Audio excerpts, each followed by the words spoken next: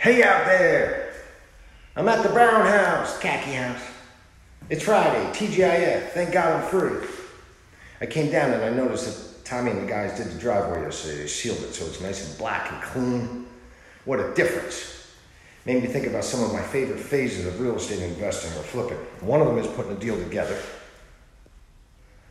It's just something about running numbers, seeing the deal come together, looking at the comparables, putting together the rehab budget, getting financing together. How can I have maximum leverage, not get hurt? You know, things like that. I know that that's not everybody's thing, but man, that gets me going. I love that stuff.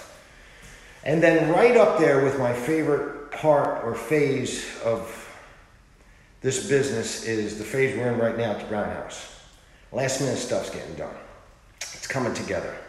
Because when a buyer walks in here, they're not going to notice what went in to putting this floor down.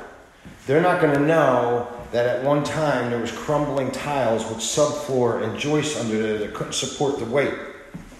And that Tom and the guys came in here, dug this down to the dirt, put new joists in, you know, new insulation, new solid subfloor. The floor feels like it's a gym underneath. It's like it, like it's a gym floor. It's beautiful. However, a buyer is going to come in and see the paint on the walls, make sure that everything's nice and neat. They might look at the staging. I think I'm going to stage this house a little bit. They're going to look at the blinds on the window. They're going to look how clean it is, things like that. They're not going to know the depth of work that went into the place. That doesn't bother me. It just makes me think that the final product's coming coming into play. We're in day 85. I know it's going to be pushing it, Tom.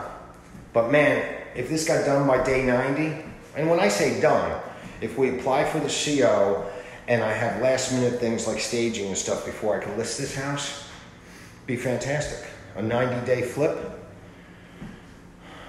be fantastic. Let me show you the driveway because let me let me show you what I'm talking about. What a difference. I came down because I wanted to bring some new light fixtures for uh, for Phil, the electrician, to put up. So we got three new light fixtures. Oh, still gotta do something with that front floor, either clean it up or uh, put some new stuff down. There's still a couple things on the inside that gotta get done. I know the, uh, the painter's gotta come back and paint that barn door and do some touch-ups. There's the uh, driveway. So it's all nice and sealed and black. Just got done yesterday. I mean, this stuff, it seems like it took one five gallon can of sealer, airport grade sealer, to do that. And it makes that much of a difference. You know, so we got some stuff to do outside with curb appeal. They uh, took off some they took down all the nasty bushes over here. We're gonna uh, spruce that up. I got a couple bags of mulch over there that we can put in over here. This has to get done. You know, it's gonna come together. But I'm showing you the driveway because one five gallon bucket of driveway sealer, airport grade, makes this much of a difference. So when this front yard gets cleaned up and looks good. I'll take a video, show you what curb appeal can look like. Till next time, have an awesome weekend.